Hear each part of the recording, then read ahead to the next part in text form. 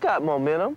Napoleon, I mean, you're 5'9", 185 pounds. I mean, you just, you don't have the momentum of, say, say, a Dorsey Levens. Hey, man, I got momentum. Napoleon, listen, if it were up to me, I would say yes, but it's not me, it's the, it's the big guys. You know, the suits at the network, they're telling me I gotta do a show on momentum. I gotta find a running back with momentum. I got momentum.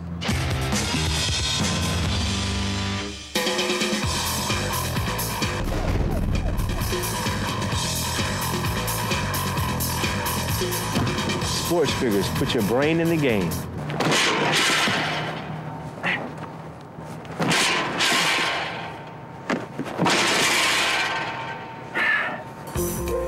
Usually when we think about collisions, we think about cars, right?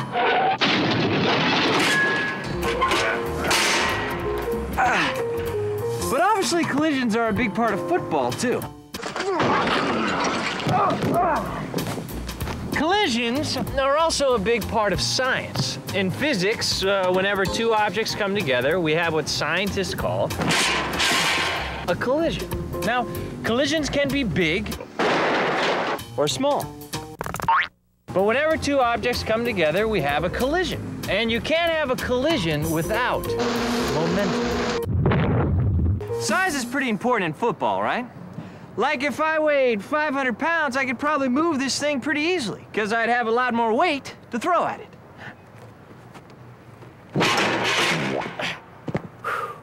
We see this in football all the time. That makes sense, right? Something heavier smashes into something lighter, and the lighter object moves. That's because the heavier object has more momentum. So, uh, how do you explain this? Napoleon only weighs 185 pounds. The defender weighs 310 pounds. When the two of them collide, how could Napoleon ever score?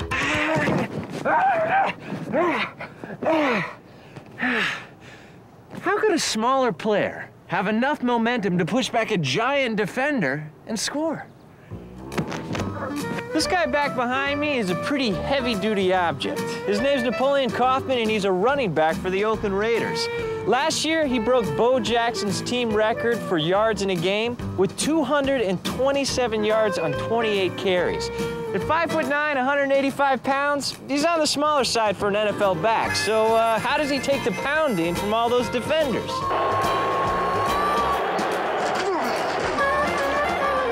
What are some of the advantages and disadvantages to being uh, to being a smaller back in the NFL? Well, I say the advantage is, you know, sometimes uh, considering how big the linemen are in this Right. league, you know, we can kind of hide behind the big guys, you know, and uh, and another thing is the- the speed factor. You know, a lot of the linebackers, they're just now there's some that are fast, but Right. not as fast as, uh, as as some of us. So it's it definitely plays to our advantage. I guess you never get caught, right? You just blaze past these defenders all the time? Oh no, that's definitely not the case. You know, obviously uh, lining up most of the time six, seven yards deep, you have to, you know, generate enough momentum to plow into these guys and break tackles. And you know, a lot of the small backs are really doing that lately because of the speed factor and because of the fact that, you know, we get a chance to to get a head start at the guys. Right, get some steam going? Yeah.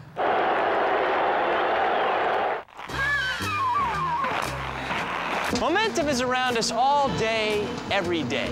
Now, if we have more than one momentum, we call it momenta. That's plural for momentum. I have momentum. Now I don't. You see, momentum is sort of like uh, the quantity of motion. And part of it is how much an object wants to keep moving. And the more momentum you have, the harder it is to stop. And the more it hurts when something stops you.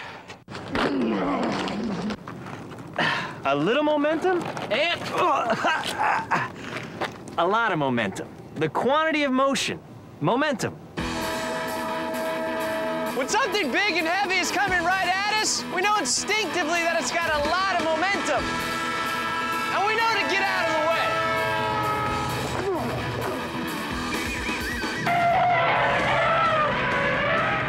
That's why most football players are so big.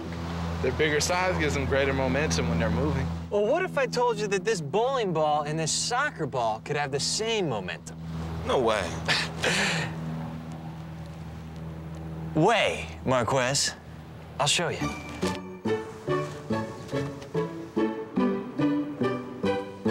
How was that? Not real hard. It was going so slow that it didn't have much momentum. Okay, I, I'm gonna try the soccer ball, all right?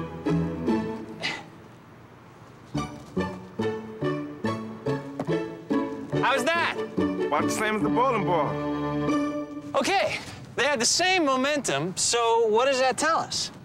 It was going faster, so momentum depends on both speed and mass. Correct. In an equation, it looks like this. P, momentum, equals mass times velocity. So the amount of momentum an object has is a function of both its weight, its mass, and its speed, its velocity.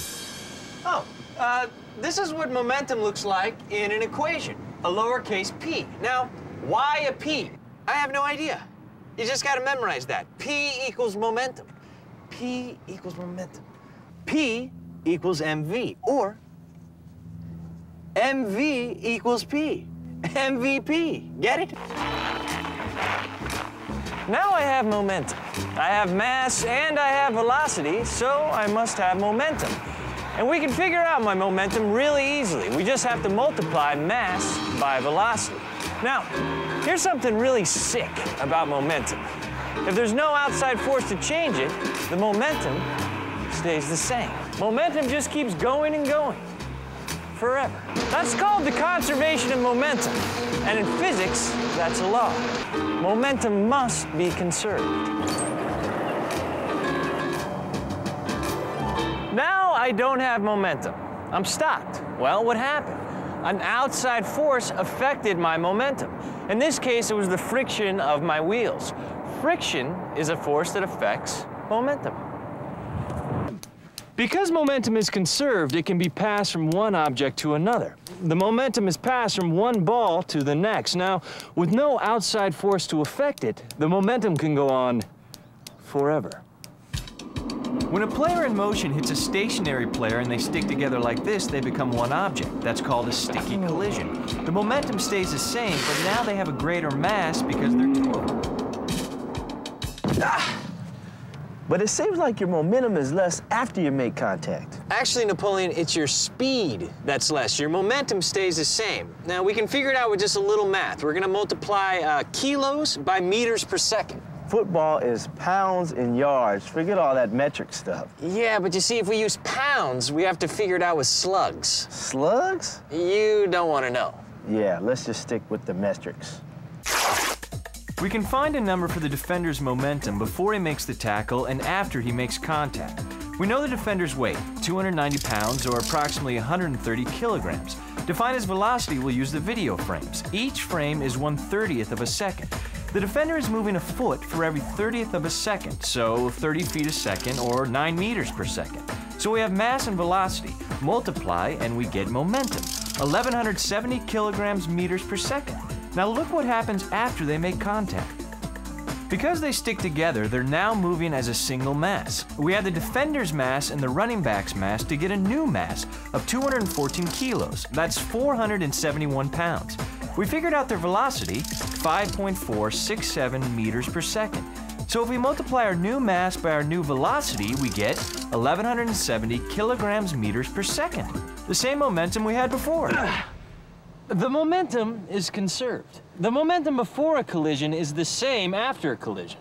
That would only work if the quarterback had no frictional force against the ground. Right, but for that model, we'll say he didn't. If he did, the momentum would be reduced by the amount of friction. But because there's no outside force, the momentum stays the same. On a football field, it's usually both players who are moving, right? Well, let's say we had two players with the same mass, and they hit each other with exactly the same velocity in opposing directions. What would happen? Let's go to the Sports Figures blackboard and take a look. Anytime a defensive lineman and an offensive lineman go head to head, you have a collision of major league proportion. Weighing in the neighborhood of 300 pounds each, these players carry a lot of momentum. So, what happens when they meet? They both get off the line equally well, so their velocity is the same when they meet. The offensive lineman has momentum in this direction. We'll call that positive. And the defensive lineman has momentum in this direction. We'll call that negative. When two objects collide, we can take the sum of their momentum to figure out what's going to happen. When they hit head on, we add their two momenta to get zero. They stop. Two big players, one big collision. You add them up, you get one big zero. Their equal and opposing momenta cancel each other out. It's all in the numbers. I'm Mark Malone at the Sports Figures Blackboard. All that stuff works when you hit each other head on, but most of the time it's not that way. We hit each other at angles. Right, but the momentum is still conserved. So, Napoleon, what happens when you're running and a defender hits you at an angle? Well, usually we keep moving, but in a different direction. That direction is the sum of your two momentums, yours and the defender's. Napoleon has momentum and he gets hit at a 90 degree angle by a defender. Okay, so what do we got here? Napoleon had momentum in this direction. Huh? The defensive back had momentum in this direction. And when they collided, they went off into this direction. Right. Now, because they hit at an angle, we can't simply add one momentum to the other like we did when they hit head on. Now, to figure out momentum in different dimensions, we use arrows like this. They're called force vectors. Okay, this arrow here represents the sum of our two momenta. That's our two momenta added together. Kong, what if Napoleon and the defender had exactly the same momentum? They would have gone in this direction. Right, but they didn't. So what can we tell about their momentum from our vectors? Napoleon had a greater momentum because they went more in the direction his momentum was going in. Correct. Now, you can use vectors like this to figure out exactly what the relative momentum for different objects were before a collision. That's what this gentleman does for a living. This is Steve Lovell, and he's a traffic investigator for the Oakland Police Department. So, Steve, how do you use physics in police work? I recently investigated this accident. It's Coming off a residential roadway, the driver said that he stopped at the stop sign, proceeded in the intersection, and then struck this car on the side. Well, based on the weight of the car, the weight of this vehicle, the angles of approach and angles of departure, using momentum, I can actually calculate the driver's speed to find that he's not all truthful when saying he stopped at that At stop the sign. stop sign. Now, Napoleon, you weigh About 185 pounds. Okay, so that would be 83 kilos. So we're going to increase your momentum with. Velocity. Right. Napoleon hits the line of scrimmage at 3.66 meters per second. 83 kilos times 3.66 meters per second is 303.8 kilos meters per second. That's a lot of momentum. And because I weigh less, I can get up to speed faster because my inertia is less. Inertia. Well, well, Napoleon, you've been studying a little physics, haven't you? A little.